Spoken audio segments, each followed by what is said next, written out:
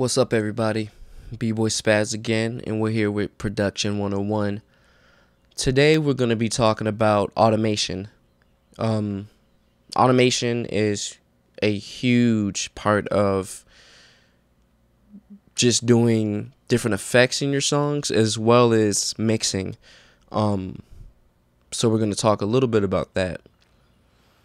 Now, what automation is, the best way explained is it's the recording of movements. So, for say, if you wanted to turn up a fader, turn it up or down at a certain part of the song, instead of you manually having to do that, you can record automation, and then anytime it hits that part of the song, it's gonna move that fader. Now, the track I'm gonna be showing this off with is one I did a long time ago with this dude, uh, Joe Golan. He did the singing on the track, and I did all the music, unfinished song. But as you see here, this red line and how it's moving with the points between it, that's basically automation. And most most all programs are going to show automation as a line and then you just draw on that line what you want it to do.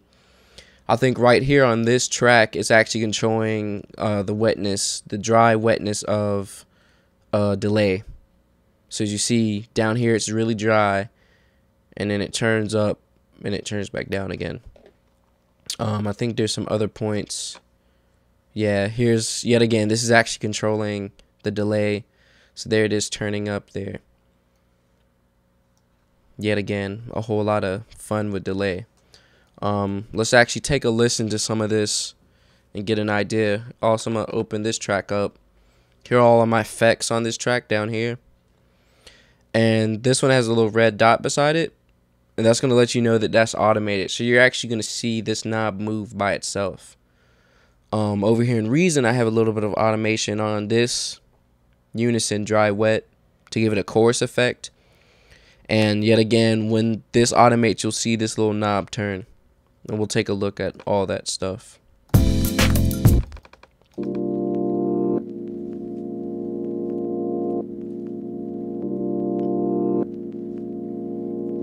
You should also be able to hear, you know, the delay turn up and turn down.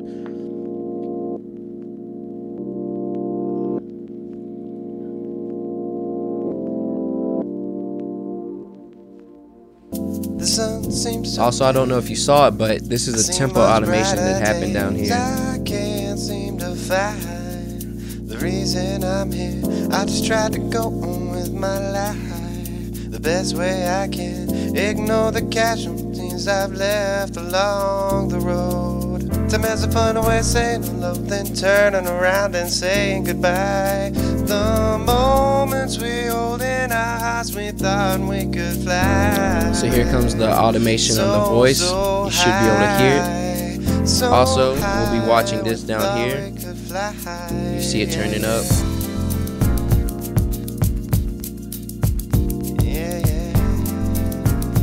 Hear the effect come in gradually.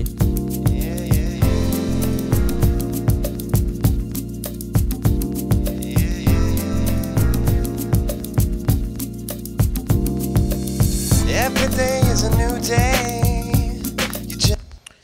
Let's go back and watch it on Reason real quick. So here it is happening over here.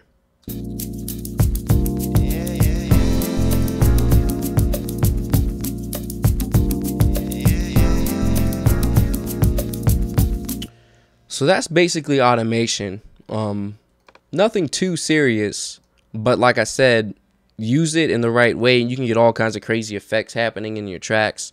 It's really useful for you know um, mixing your songs and whatnot getting pans to change and move and things like that. Um, if you all would like me to do a tutorial on how to actually automate in ableton um, just leave it in the comments and i'll actually post a reply video to this one showing how to automate in Ableton since in Production 101 we're just kind of talking about what it is and understanding the terms. Anyways, hit me up and don't forget to ask questions for Ask B-Boy Spaz. And as always, keep up on the music and I'm here if you have any questions. All right. Peace.